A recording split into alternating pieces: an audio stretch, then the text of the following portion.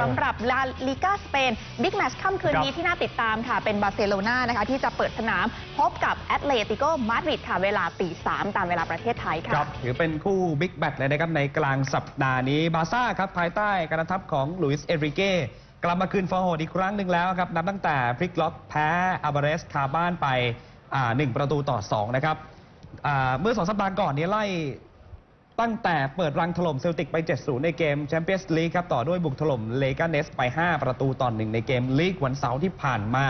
ตอนนี้ทำให้บาร์ซ่านี่มี 9 แต้มจาก 4 นัดครับ ก็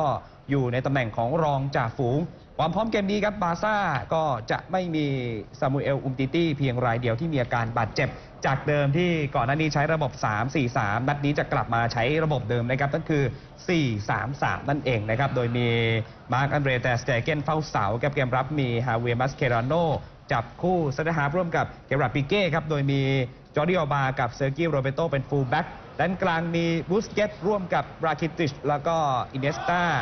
ส่วนแผงเกมรุกวันนี้ โอ้โห full ค่ะทีมเลยครับ ครับ เมสซี่ โซเรส เนย์มาร์ อืมฟอร์มดีขึ้นมาก ๆ นะครับสำหรับบาร์เซโลนาหลังจากที่แพ้ในบ้านมา 2-1 ก็เหมือนไปกระตุกหนวดเสือนะฮะ ค่ะ แต่นัดนี้ยิงถล่มทลายนะครับ 7-0 บ้าง 5-1 บ้าง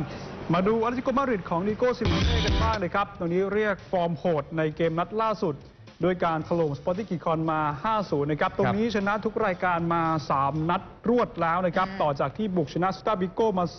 4-0 ตามด้วยบุกเฉือนเฉือนพีเอสวีไอนด์โฮเฟนมา1-0 ในแชมเปี้ยนส์ลีกเกมนี้มีปัญหานักเตะบาดเจ็บนะครับ มีแค่รายเดียวที่เจ็บคือติอาโก้เมนเดสมิดฟิลด์โปรตุกีสนะครับ แต่ว่าไม่น่าจะกระทบเพราะว่ามีตัวหลักให้เลือกมากมาย น่าจะมาในระบบ 4-4-2 ผู้รักษาประตูเป็นยานโอบลัค เกมรับมีดิเอโกโกดินนะครับโฮเซ่คิมิเนสเป็นคู่เซนเตอร์ฮาล์ฟส่วนฟูลแบ็กใช้ฆวนฟรานกับฟิลิปเป้ลุยส์ประจำการนะครับ ด้านกลางมีกาบี้เฟอร์นันเดสซาอูลญีเกซนะครับทำเกมตรงกลางส่วนริมเส้นมีโกเก้กับยานนิกเฟร์เรราการ์ราสโกศูนย์หน้าใช้เควินกาเมโรกับอองตวนกริสมันนะครับ อืมเกมของแอตมาดริดเองก็น่าสนใจนะครับครับเริ่มที่จะเข้าฝักเข้าหน่วยแล้วอะเดี๋ยวไปดูโปรแกรมการแข่งขันกันหน่อยนะครับสำหรับบาร์ซ่าเจอกับอันเดริดแล้วก็ยังมีคู่ที่น่าสนใจอยู่ด้วยนะครับนาฬิกาสเปนค่ำคืนนี้ ช่วงเวลาตีหนึ่งนะคะ เป็นเซลดาปีโก้ค่ะพบครับกับเปอร์ลิงชิคอนค่ะ ครับครับแอตอ่าเรอัลมาดริดครับเจอกับเรียลเรอัลนะครับ ส่วนเวลาตีสามนี่อ่ามี 2 คู่ด้วยกันครับบาร์ซ่าเจอกับแอตมาดริดแล้วก็โรบินเรียลสวนสดัดเจอกับลาสพามาสเลยครับครับ